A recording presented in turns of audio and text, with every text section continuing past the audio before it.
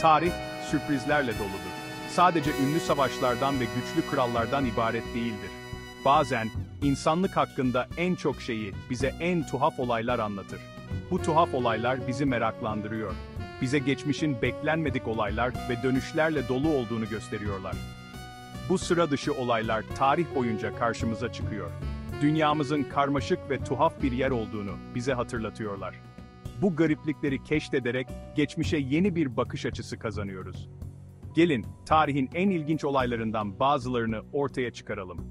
Sıra dışı ve açıklanamayan olaylara şaşırmaya hazır olun. Güneş ışığı olmayan bir yıl düşünün. 1816'da Kuzey Amerika ve Avrupa'daki insanlar tam da bunu yaşadı. Hava alışılmadık derecede soğuk ve karanlıktı. Neden mi? Bir yıl önce Endonezya'daki büyük bir yanardağ patlaması. Kayıtlara geçen en büyük patlama olan bu olay, atmosfere kül ve gaz püskürttü. Bu parçacıklar güneş ışığını engelledi ve dünya genelinde sıcaklıkların düşmesine neden oldu. Ürünler yetişmedi ve insanlar aç kaldı. Haziran ayında kar yağdı. Bu yazsız yıl, doğanın hayatımızı alt üst etme gücünün sert bir hatırlatıcısıydı. Fransa'nın Strasbourg şehrinde 1518'de çok garip bir şey oldu. Bu olay, tarihin en tuhaf ve en gizemli olaylarından biri olarak kayıtlara geçti. İnsanlar sokaklarda kontrolsüz bir şekilde dans etmeye başladı. Bu dans, herhangi bir müzik veya kutlama olmadan tamamen aniden ve beklenmedik bir şekilde başladı. Bu neşeli bir kutlama değildi. Aksine, insanların iradeleri dışında hareket ettikleri, korkutucu ve anlaşılmaz bir durumdu. Bu, garip ve tehlikeli bir salgındı. İnsanlar dans ederken kendilerini yaralıyor, hatta bazen ölüme bile neden oluyordu. Sokakta dans etmeye başlayan Frau Trofea adlı bir kadınla başladı. Frau Trofea, bir sabah aniden dans etmeye başladı ve durmak bilmedi. Kısa süre sonra, düzinelerce, sonra yüzlerce kişi ona katıldı. İnsanlar, sanki bir büyü altındaymış gibi dans etmeye devam ettiler. Günlerce, hatta haftalarca durmadan dans ettiler. Hatta bazıları yorgunluktan öldü. Bu durum, şehirde büyük bir paniğe yol açtı. Bu dans salgınının nedeni hala bir sır.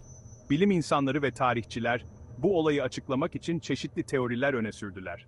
Bazı teoriler, kitlesel histeriyi veya hatta zehirlenmeyi öne sürüyor. Diğerleri ise bu olayın dini veya sosyal baskılardan kaynaklandığını düşünüyor. Nedeni ne olursa olsun, 1518'in dans salgını tarihte tuhaf bir dipnot olarak yerini koruyor. Bu olay, insan davranışlarının ne kadar karmaşık ve anlaşılmaz olabileceğini gösteriyor. Avustralya'nın da sıra dışı olaylardan nasibini aldığını söyleyebiliriz. 1932'de ülke, emulara savaş ilan etti. Bu büyük uçamayan kuşlar, Batı Avustralya'daki çiftçiler için sorun yaratıyordu. Emular, ekinlere ve çitlere zarar veriyordu. Hükümet harekete geçmeye karar verdi ve makineli tüfeklerle donanmış askerleri görevlendirdi. Amaç, emu nüfusunu azaltmak. Ancak emuların şaşırtıcı derecede dirençli olduğu kanıtlandı. Savaş birkaç hafta sürdü ve emular büyük ölçüde askerleri alt etti. Büyük Emu Savaşı, insanın doğayı kontrol etme çabalarının ters tepmesinin komik bir örneği haline geldi.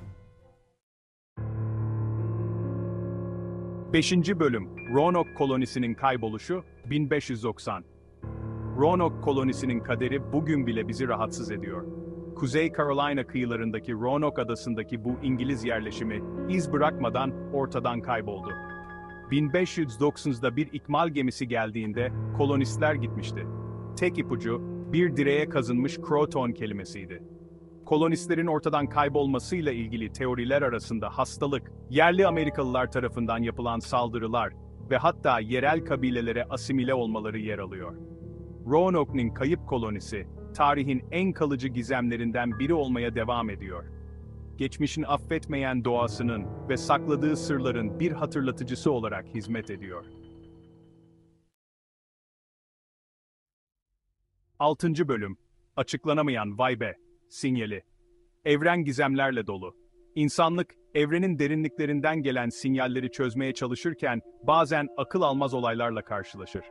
Böyle bir bilmece de Vibe sinyalidir. Bu sinyal, bilim dünyasında büyük bir merak uyandırdı ve yıllardır tartışılmaya devam ediyor. 1977'de Ohio Devlet Üniversitesi'ndeki gökbilimciler, uzaydan gelen güçlü, açıklanamayan bir radyo sinyali tespit ettiler.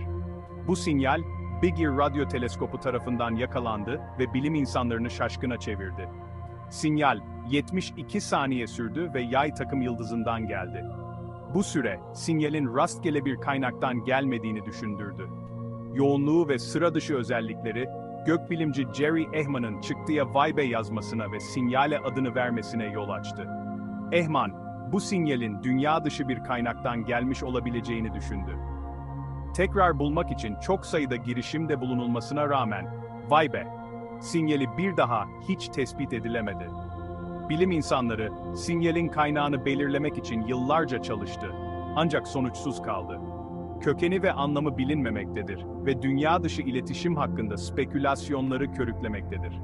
Bu gizemli sinyal, evrende yalnız olup olmadığımız sorusunu yeniden gündeme getirdi ve bilim dünyasında büyük bir tartışma başlattı. 7. Bölüm Bu olaylar neden önemli? Bu sıra dışı olaylar, tarihin büyük şemasında önemsiz görünseler de, değerli bilgiler sunmaktadır.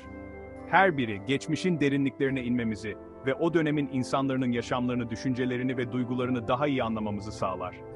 Bu olaylar, tarihin sadece büyük savaşlar ve kralların hikayelerinden ibaret olmadığını, aynı zamanda sıradan insanların da tarihin akışını şekillendirdiğini gösterir.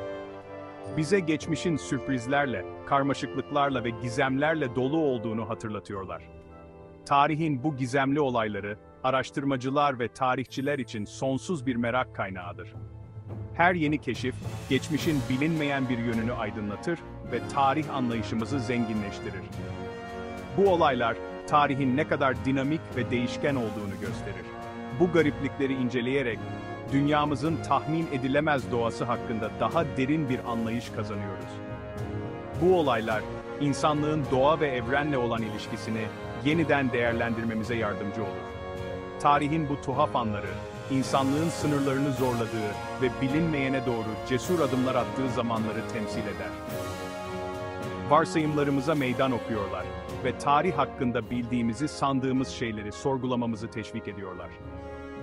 Bu olaylar, tarihsel gerçeklerin ne kadar kırılgan ve değişken olduğunu gösterir. Her yeni bilgi parçası, geçmişe dair bildiklerimizi yeniden gözden geçirmemizi gerektirir.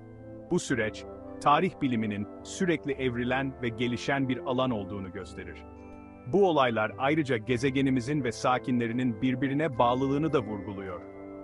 Tarihin bu anları, dünyanın dört bir yanındaki toplumların nasıl etkileşimde bulunduğunu ve birbirlerini nasıl etkilediğini gösterir. Bu olaylar, küresel tarih anlayışımızı derinleştirir ve insanlığın ortak kaderini anlamamıza yardımcı olur. Volkanik patlamalardan kitlesel histeriye ve doğal dünya ile etkileşimlerimize kadar, bu olaylar görünüşte izole olayların nasıl geniş kapsamlı sonuçlar doğurabileceğini göstermektedir. Bu olaylar, doğanın gücünü ve insanlık üzerindeki etkisini gözler önüne serer. Tarihin bu anları, insanlığın doğa ile olan karmaşık ilişkisini ve bu ilişkinin nasıl evrildiğini anlamamıza yardımcı olur.